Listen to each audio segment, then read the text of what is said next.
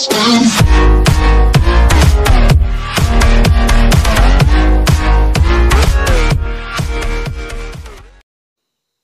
Krishna Guru everyone.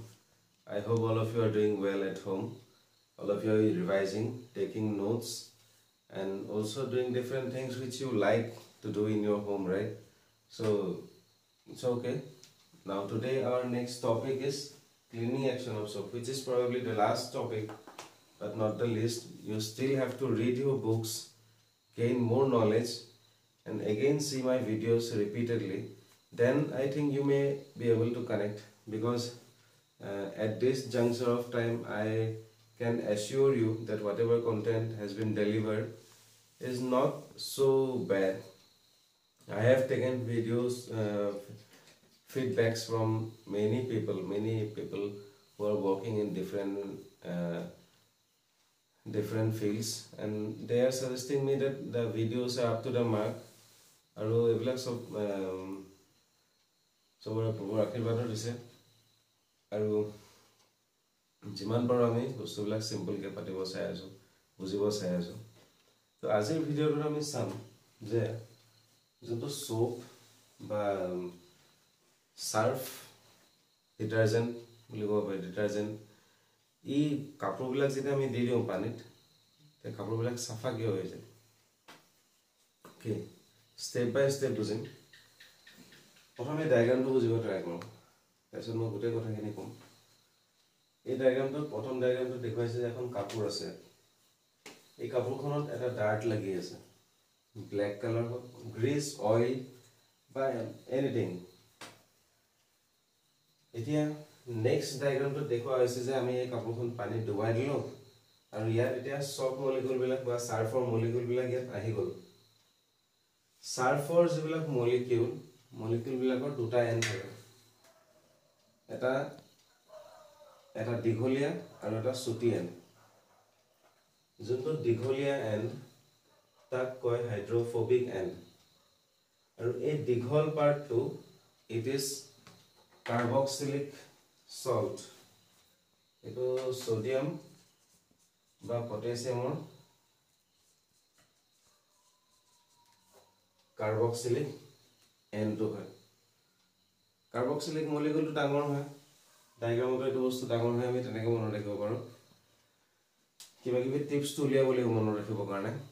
আৰু যোনটো part সৰু হয় চুটি হয় সেইটো হয় হাইড্ৰফিলিক এতিয়া ফিল ৱৰ্ডটোৰ মিনিং হৈছে লাভ গতিকে এই মলিকুলটোত আমি দেখিলোঁ যে দুটা পাৰ্ট আছে এটা হাইড্ৰফিলিক আৰু এটা হাইড্ৰফবিক যোনটো হাইড্ৰফবিক মানে যোনে পানীটো বেয়া পায় পানীত যোনে থাকিব নোৱাৰে সি ক'ত লাগিব গৈ পেলাই?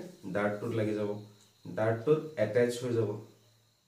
আৰু যোনটো হাইড্ৰফিলিক পাৰ্ট যোনে পানী ভাল পায় সি পানীৰ ফালে এলাইন হৈ থাকিব।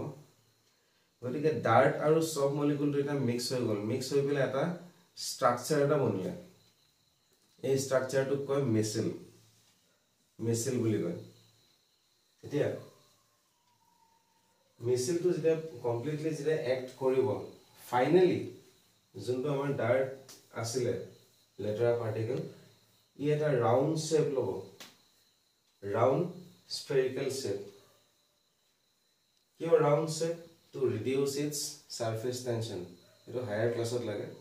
বেলেগ শ্বেপো ল'ব পাৰিলে হয় ওলাই আহোঁতে। বাট যিকোনো বস্তুৱে পৃথিৱীত সদায় ৰাউণ্ড শ্বেপটো ল'ব বিচাৰে। কিয়? Because round shape it has the lowest surface area মানে যেতিয়া তাক এটা ছাৰ্ফেচত থৈ দিম এৰিয়া অফ কণ্টেক্টটো লৱেষ্ট হয়।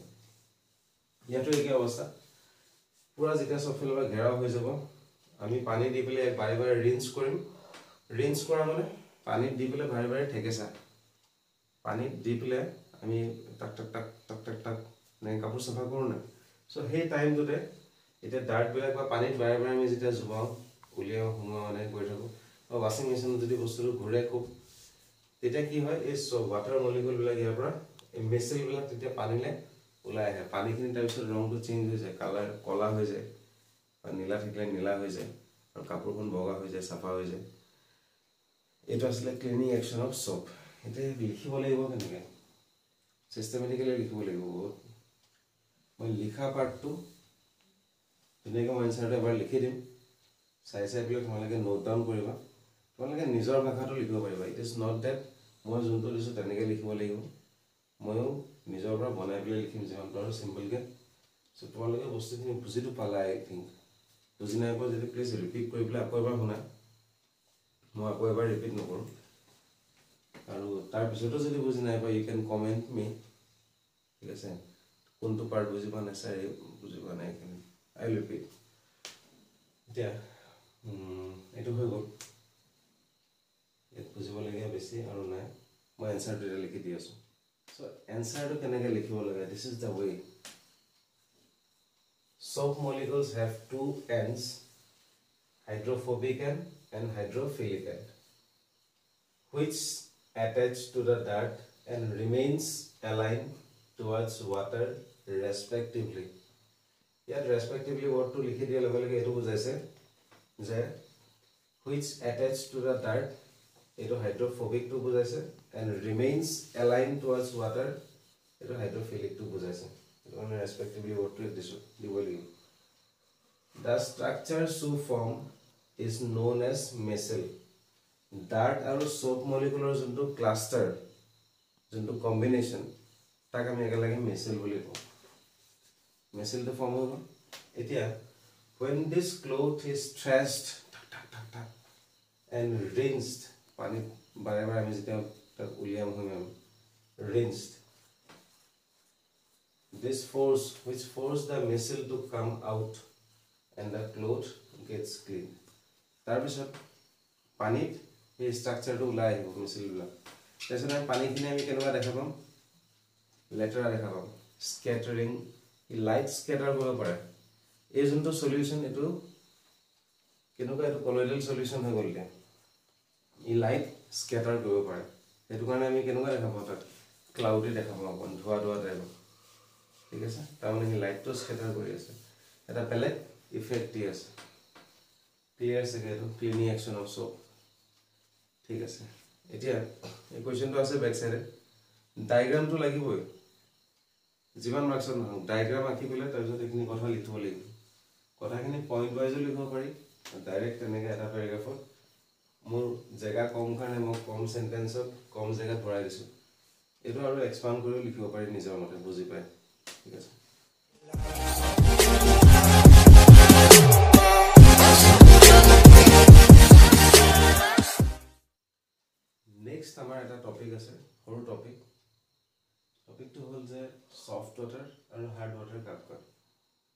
ছফ্ট ৱাটাৰ ছফ্ট ৱাটাৰ মানে যোনটো ৱাটাৰত কেলছিয়াম আৰু মেগনেছিয়ামৰ চল্ট নাই। If a water sample contains calcium and magnesium salt then it is hard water and if it does not contain calcium and magnesium salt then that water is called soft water গতিকে simple হয়, এইকেইটা salt যদি থাকে, তাক hard water বুলি ক'ম। এইকেইটা salt যদি নাথাকে, তাক ছফ্ট ৱাটাৰ বুলি ক'ম এতিয়া ইয়াৰ ইমপ্লিকেশ্যন কি হয় এইটো হয় যদি আমি চফ ইউজ কৰোঁ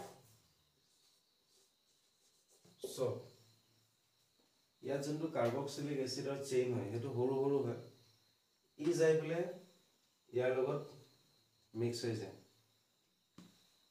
ঠিক আছে ইয়াৰ লগত যেতিয়া মিক্স হৈ যাব তেতিয়া এটা ইনচলিউবল চল্ট এটা ফৰ্ম হয় স্কাম এটা ফৰ্ম হয় যোনটো আমি গা ধোৱা টাইমত কেতিয়াবা দেখা পাওঁ যে চাবোন দি কেতিয়াবা নতুন জেগাত বা টিউবৱেল পানী চানী আজিকালি মানুহে চব চাফা পানী দি গা ধোৱা বাট ষ্টিল আগৰ দিনত বা ক'ৰবাত কেতিয়াবা যাওঁতে হোটেলে চোটেলে যদি আমি এনেকৈ পাইছোঁ চাপ'জ চাবোন মাৰি আছোঁ কিন্তু ফেন ওলোৱা নাই স্কাম ফৰ্ম হোৱা নাই তাৰমানে স্কাম ফৰ্ম হৈছে। মানে কিবা এটা হোৱাইট হোৱাইট টাইপৰ বস্তু এটা ডাঠ ডাঠকৈ হেৰি ফৰ্ম হৈছে। তাৰমানে এইটো স্কাম ফৰ্ম হৈছে। কিয়? বিকজ অফ এইটো চফ মলিকুল আৰু এই চল্টটো মিক্স হৈ গৈছে। তাৰমানে পানীটো কি পানী? দিছ পানী ইজ হাৰ্ড ৱাটাৰ আৰু যদি চফ্ট ৱাটাৰ হয় তেনেহ'লে যেতিয়া আমি চফ ইউজ কৰিম এই চফটো ধুনীয়াকৈ ফেন ওলাব। হোৱাইট কালাৰ এনেকুৱা ফ্ল'ট ফৰ্ম হ'ব। তেনেকৈ আমি চপেদি আইডেণ্টিফাই কৰিব পাৰোঁ যে পানীখিনি চফ্ট ৱাটাৰ হয় নে হাৰ্ড ৱাটাৰ হয়। ঠিক আছে? কিন্তু যদি আমি ডিটাৰজেণ্ট ইউজ কৰোঁ ডিটাৰজেণ্টৰ ওচৰত কি থাকিব? লং কাৰ্বক্সিলিক চেইন থাকে এমনিয়ামৰ বা ছালফনেটৰ গতিকে সি ছফ্ট ৱাটাৰ কেছততো ফৰ্ম ফ্ৰড ফৰ্ম কৰিবই। হাৰ্ড ৱাটাৰতো ডিটাৰজেণ্টে কাম কৰে। ডিটাৰজেণ্টে ফ্ৰড ফৰ্ম কৰিব তাৰমানে ডিটাৰজেণ্টে ফেন ফৰ্ম কৰিব পাৰিব। ঠিক আছে? চ' পানীখিনি হাৰ্ড ৱাটাৰ হয়নে নহয় আমি কিহেদি আমি টেষ্ট কৰিব পাৰিম চপেদি পাৰিম। বিকজ চফে তেতিয়া ফেন ফৰ্ম ফৰ্ম নকৰিব।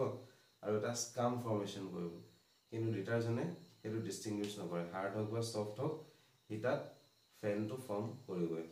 ঠিক আছে? চ' এই যোনটো চেপ্টাৰ আছিলে এই চেপ্টাৰটোত এইখিনি মেইন মেইন টপিক আছিলে। আমি গোটেইখিনি ডিছকাছ কৰিলোঁ। এতিয়া কুৱেশ্যন এনচাৰ গোটেইখিনি ট্ৰাই কৰিবা চব হৈ যাব লাগে। যদি কিবা নহয় then let me know' I will give you answer